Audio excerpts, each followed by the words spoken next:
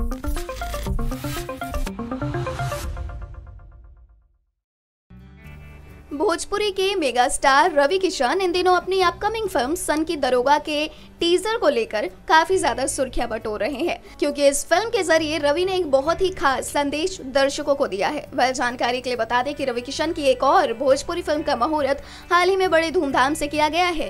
इस फ़िल्म का नाम है कसम तिरंगे की। जी हाँ कसम तिरंगे की फ़िल्म देशभक्ति से जुड़ी कहानी है, जिसमें रवि किशन के अलावा अरविंद अकेला कल्लू भी नज़र आएँगे।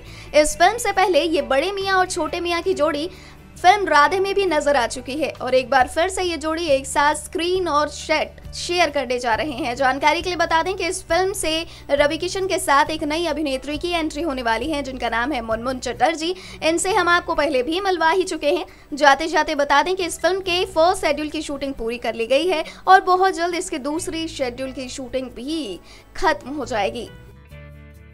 नेक्स्ट नाइन न्यूज़ भोजपुरिया की रिपोर्ट